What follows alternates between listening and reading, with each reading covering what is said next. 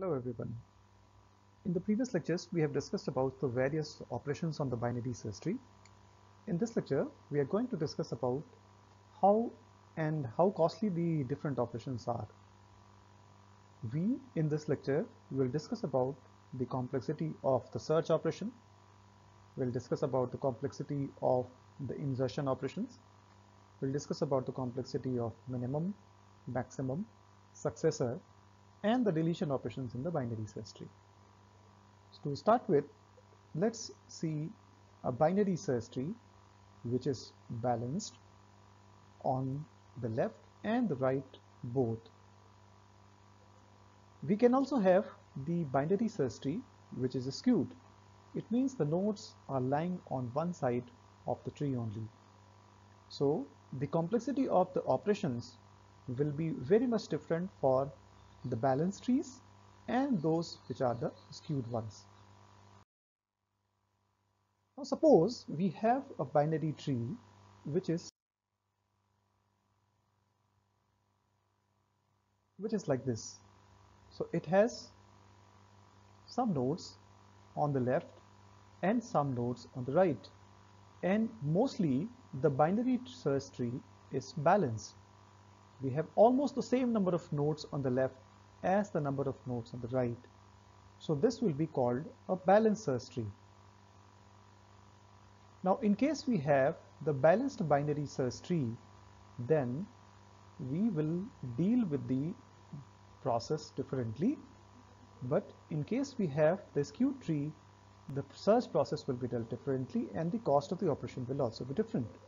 Suppose we are starting with the search operation on the binary search tree. So the search operation will lead us search operation will lead us from the root node to some leaf node. In the best case, I can find my search key at the root node. Hence, if my search key is found at the root node, the cost of this operation would be 1 or constant. But in case we have to move from root node till the leaf node for searching of the operation, then if I follow any of the path, I will have to travel a distance equal to the height of the tree. In case the height of the tree is log n or order of log n, I have to make the same number of the comparisons. So the total number of comparisons in this case will be order of log n.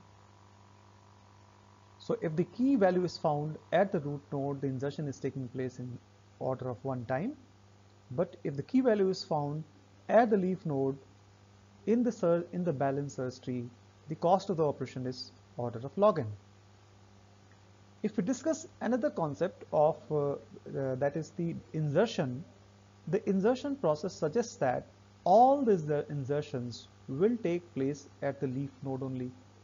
So for finding the appropriate position for the insertion, we once again will have to traverse this tree from root to the appropriate node for the insertion and after that the actual insertion will take place. So for searching operation we require log n time. To search for the appropriate for the insertion we require order of log n time. So if the tree is balanced I require theta log n time for searching the appropriate position for the insertion. And then in the constant time, I can add the information at the desired place.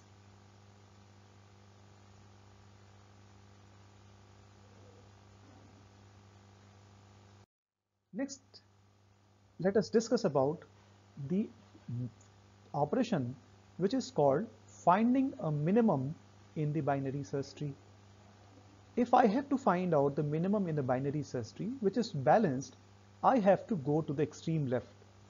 And in case I'm going to the extreme left reaching to the extreme left will require order of log n time because I have to move from the root to the leaf or which is the leftmost node. It is equal to the height of the binary search tree. And in case of if I say that the height of the binary search tree is log n. So log n will be the effort required for finding the minimum. Similarly, if I have to find the maximum, I have to go from the root node to the extreme right node and reaching to the extreme right node will require order of log n time. Please mind it that we are discussing all these things with respect to the balanced search tree. Let's say, let us say that we have to deal with another kind of the binary tree which is binary search tree and we have to deal with the binary search tree in which we have to perform the successor operation or we have to find the successor operation. In case we are finding the successor of this node which is P, I can find out the successor in one go.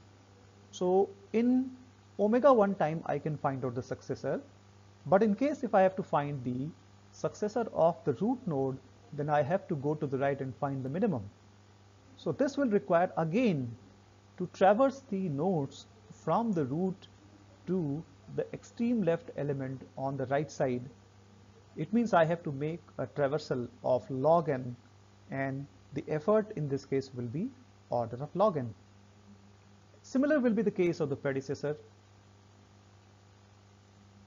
In case the predecessor has to be found, let's say this is the target node for which the predecessor has to be found. So the predecessor of this node will be this node only. Hence, in omega 1 time or the constant time, I can find the predecessor. But in case the predecessor has to be found for the root node, then I have to move towards the left subtree, have to traverse from the root to the leaf node lying on the left hand side of the tree. Hence, it will require the effort order of log n.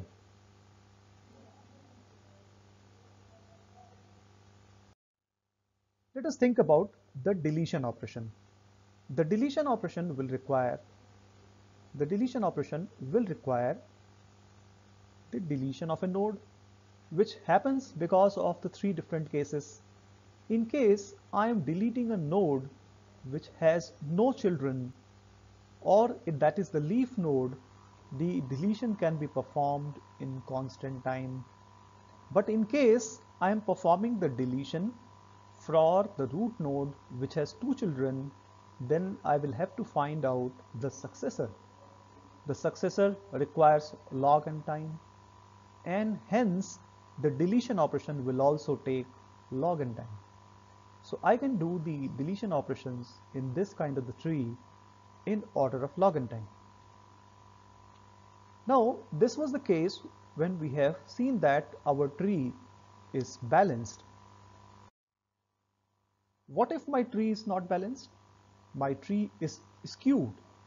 So skewed means my nodes can be there somewhere here on the left hand side, all the nodes. Or my all the nodes are there in the right hand side. So this is the left skewed binary tree and this is the right skewed binary tree. A binary search tree can be formed for both of these situations. So if my tree is left skewed or right skewed, the binary search tree can also be left skewed or the right skewed.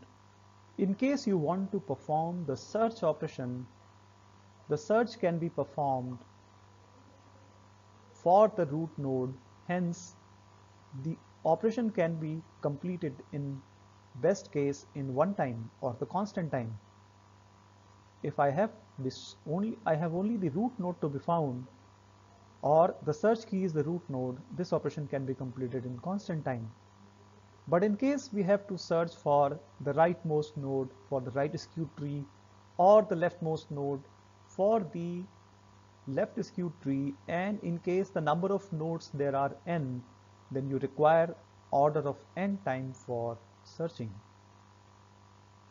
you have to go from root to every node and search and finally you will get your data item in the leaf node. So that will require order of n time for searching. Similar will be the case for the insertion. In case you have to insert a data item, let's say I have the key 100 at the root in the left skewed tree. In case you have to insert, let's say 150, so the place for the insertion would be this. And you can insert an item in constant time here. So in constant time you can insert the data item. But in case you have to let's say we have the binary search tree as 100 90 80 70 60 and 50 in case you have to insert 40 then you have to search the entire binary search tree towards the left and then you will find that 40 can be inserted towards the left of 50 so in this case the search operation requires order of n time hence the insertion can be done in order of n time because the insertion is search plus the constant time insertion operation. So insertion is also taking place in order of n time here. In the worst case, you will require n time. Finding minimum from the left skewed binary tree is done or can be done in omega 1 time in case not omega 1 sorry in order of n time because the leftmost item or leftmost data item can be found in theta n time. For finding the minimum you need to search for all the nodes towards the left. In the extreme left you will find the minimum element. Similarly, finding the maximum in the right skewed tree will require order of n time because the maximum item can be found on the extreme right after this, let's say we have to perform the successor operation.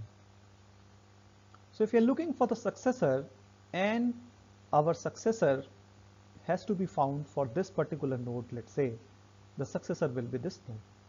Hence, the successor can be found in constant time for this. But in case the successor is to be found for this node, which is the rightmost node, then I'll have to move up and up and up once you reach to the root node, you will declare that the successor does not exist. So in that case, order of n time will be required for finding the successor. Similar will be the case for finding the predecessor. Now for deletion, once again, if I'm deleting the leaf node, the deletion of the leaf node will be pretty straightforward and you can do it in single go or one operation or a constant time operation. But in case if you want to delete the root node, in that case you will have to find the successor and the successor can be found in order of n time. So deletion can be performed in order of n time in the worst case. So the conditions that we have discussed now and the conditions that we have discussed previously about the two kind of the things. One, the case wherein the tree is balanced and the tree when is when the case when tree was skewed. So you're watching that every single operation that we are discussing, search, insertion, minimum, maximum, successor, predecessor, and the deletion. In the case of the balanced tree, it can be found in the worst case in log n time. And in the case of the skewed, you can find it out in order of n time. So it is always better to have a binary search tree which is balanced. So while performing uh, the a, performing any of the operations on the binary search tree, in case the tree is balanced, it gives us good result in order of log n time. But in case the tree is skewed, it requires order of n time. We already have seen that the order of n is much, much larger than the order of log n. So we need to restrict our binary search tree balanced and then you need or you have created the requirement of a balanced binary search tree and in the subsequent lectures we will see the balanced binary search tree named as AVL tree. Thank you for watching this video.